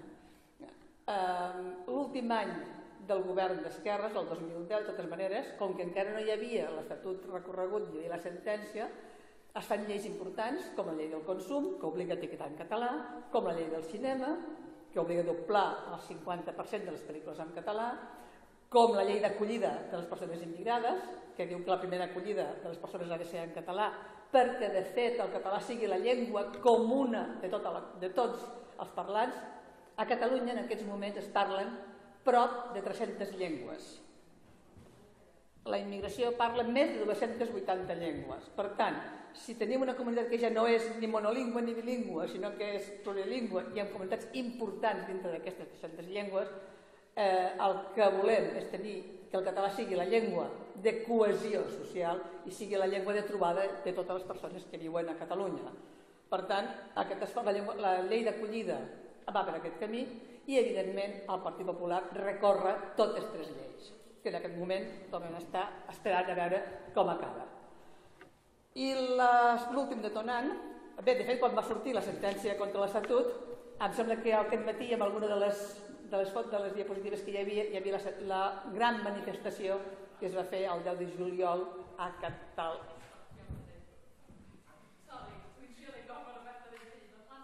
Què he fet? Ah, ok. la, la, la manifestació del 10 de juliol que aplega més d'un milió i mig de persones defensant la, la, la sentència de l'Estatut. Per acabar amb la situació de Catalunya, les pitjors han estat les sentències, de les, les últimes sentències. Aquesta sentència de l'Estatut ha obert les sentències a uns recursos de tres famílies que demanaven que fossin escolaritzats en castellà als seus fills. Aquests recursos de tres famílies han fet que el Tribunal Suprem digui que la llengua castellana ha de ser reintroduïda com a llengua vehicular de l'ensenyament en el sistema educatiu català. No s'està fent, s'estan donant resposta individual a les famílies. Bé, les famílies que ho van demanar, els nens ja no són a l'escola, perquè quan ha arribat la resolució ja havien marxat de l'escola. Però sí que obre la porta perquè d'altres famílies ho demanin, cap a fer desfer el model d'immersió que l'opinió dels Consells d'Europa quan fa dels experts quan venen a fer eh, l'avaluació de la carta a Espanya diuen que el model educatiu català és el que hauria de ser el model per tots, per tant, això desapareix. I la sentència més recent és d'aquest juliol, en què també obliga a introduir el castellà a l'educació infantil de 3 a 6 anys, que és una etapa no obligatòria. És a dir, si els pares ho demanen, també poden rebre l'ensenyament en castellà, perquè diuen que el català i el castellà ja estan normalitzats i que han de ser tractats igualment. Per tant, a Catalunya, que les, pel que fa al sentit de la població, pel que fa al govern, és la situació més favorable a la normalització de la llengua, en aquests moments la veritat és que la societat està prou preocupada i fa que hi hagi mobilitzacions realment importants, a les quals si ajuntem, que no cal que no ho parlem, la situació econòmica greu que patim, doncs bé, que hi hagi, no sé, demà passat, dimarts, és la commemoració de la Diada, dimarts és la commemoració de la Diada Nacional de Catalunya, l'11 de setembre, s'espera una gran manifestació, realment hi ha molts autocars, trens per arribar a Barcelona, amb un lema molt ampli. Des de la Catalonia Next State d'Europa, el proper estat d'Europa, la convoca l'Assemblea Nacional Catalana, fins a la gent que, que protestarà pel maltracte d'Espanya, pel que sigui. Bé, si la situació és dolenta a Catalunya, com que tinc poc temps, vaig de pressa, evidentment la societat civil, les associacions, el poble estan tots mobilitzats, i per l'escola, evidentment, també. Eh, si la situació a Catalunya és, és dolenta, quan tenim un govern que realment està lluitant per la defensa de la llengua, quan la Conselleria d'Ensenyament està fent recursos i dient que, que ella no canviarà res, de moment, si no l'obrim d'altra manera. Bé, quan a partir del moment en què també eh, a les Balears i al, i al País Valencià entra un govern popular, que és l'any passat, doncs la situació canvia. A les Balears la política lingüística de fins aleshores, majoritàriament governats pel Partit Popular, amb algun període de socialista, era, seguia les línies de Catalunya i seguia, defensava la, la, la llengua, no l'han qüestionat mai la llengua, però defensava la política lingüística tal com se feia a Catalunya. I les escoles de les Balears tendien cap a l'ús del català i cap a la immersió. Bé, s'ha acabat, també. eh, el, govern, el govern de les Balears ha tret també, ha demanat que tots els pares eh, puguin o, o escollir la llengua en què volen l'educació, o sigui, lliure elecció dels pares de la llengua per l'educació. Sort que la societat balear també s'ha mobilitzat en contra i només han triat el castellà el 13% dels pares, el 87% han triat el català. O sigui, els han enviat una carta dient trieu i els han enviat en castellà dient trieu i han dit no, no, el 13% l'han triat, però torna a ser una altra amenaça. I ha suprimit el requisit de coneixement del català per anar a la funció pública. De manera que això ha creat divisió dintre el mateix Partit Popular.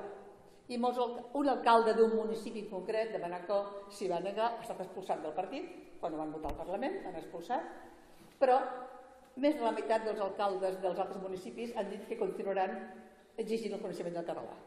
O sigui que estan dividits, ja contesta perquè socialment, i aquí és on entrava el que comentava aquest matí de la vaga de fam de l'Associació de Jubilats de Mallorca per protestar contra aquests atacs de la llengua per part del, del Partit Popular i totes les altres marxes que s'han anat fent, totes les coses que s'han anat fent. I finalment, si me'n vaig al País Valencià, doncs aquí encara tenim pitjor, perquè el País Valencià de sempre no ha mostrat gaire interès pel manteniment de la llengua. Primer, en primer lloc, negant la unitat, dient que el que parlaven, que ells anomenen valencià, és una llengua diferent del català. I per tant, això ha fet el Consell d'Europa, com que diu que això és un afer intern, doncs bé, les traduccions les fa en català i en, i en valencià, o sigui, tenim les coses en les dues llengües, eh, malgrat, però, tots els particulars, la gent que han, recorregut, que han recorregut per aquesta discriminació, professors de català o persones extraordinàries, no se'ls han reconegut els drets, hi ha 45 sentències en contra de la discriminació per part del govern valencià eh, a la gent que el deien si jo parlo català, el català és la mateixa llengua que el valencià. La darrera sentència és del 27 de juliol d'aquest any. Un professor que l'any 2001 va, fer, va optar a una plaça a l'Escola d'Idiomes, va dir que ell parlava català, que ell dominava el català, i el van excloure de l'oposició. Va recórrer i ara, el 2012, el Tribunal Suprem espanyol li ha donat la raó, que l'havien d'haver admès perquè el català i el valencià són la mateixa llengua.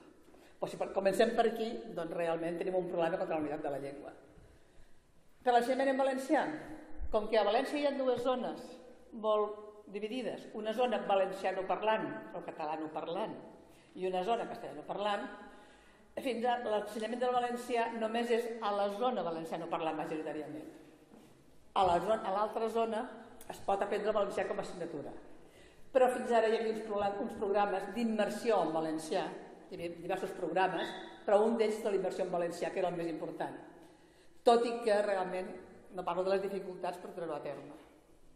Ara, el president anterior ja va anunciar un decret de plurilingüisme perquè eh, l'estat del País Valencià és que diuen que han de ser tots els alumnes de València han de saber sortir parlant valencià, castellà i anglès. Una temporada van dir que volia que sortissin tots parlant xinès. No se'n van sortir gaire amb el xinès, però ara després van dir que les tres. I aleshores tothom s'hi va posar en contra, la comunitat educativa s'hi va posar en contra, va canviar el govern del PP, el nou govern ha, fet, ha intentat dialogar amb la comunitat educativa, la comunitat educativa, diguem-li, les entitats, universitats, han treballat conjuntament amb el govern per un esborrany de decret, portant-li sis, punts que el decret afavorís l'ensenyament del valencià juntament amb l'ensenyament plurilingüe i quan el decret ha sortit ara, aquest agost, no hi havien recollits cap dels sis punts de l'esborrany. O sigui, no n'havien consensuat cap. Per tant, Ara, tan recent com ara aquest agost, primer de setembre, les entitats estan dient bé, veurem què passa i si no, ja ens mobilitzarem ara a la tardor. O sigui, que com que se m'acaba el temps, ja veieu que és oficial, és, és reconeguda, però no ho està pas en el seu millor moment. Eh, si a Catalunya, l'Estat, a Catalunya, el govern ho podria fer i té la voluntat de fer-ho, els atacs li venen de fora. O bé, o de dintre mateix, dintre de, eh, evidentment, des del partit de la dreta, del Partit Popular, que és el que governa a, Espanya. No corren bons temps, però això ha fet, per altra banda, que la societat civil s'hagi mobilitzat altra vegada, que potser també estàvem apàtics. O sigui, com que ja ho teníem bé, com que ja estàvem també, com que no érem, érem tants i parlàvem tants, doncs ha fet que la societat civil es torni a estar treballant per defensar els nostres drets. Esperem que en el futur, la pròxima vegada que ens trobem, doncs, podem, podem parlar-ne millor, però el que sí, el que es veu és que després de 35 anys de democràcia, encara sembli que siguem el dia de la marmota, que tornem a començar i tornem a lluitar com és el començament, doncs la veritat, tenim molt camí per recórrer, però no, de, no, no decaurem. Gràcies. Ja.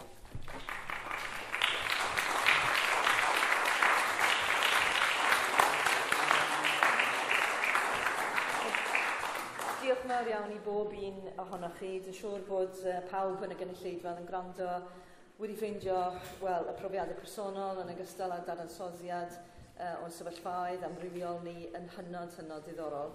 Mae'n berthynas gymleth felly rhwng tir ac iaith, ond mae'n berthynas hanfodol.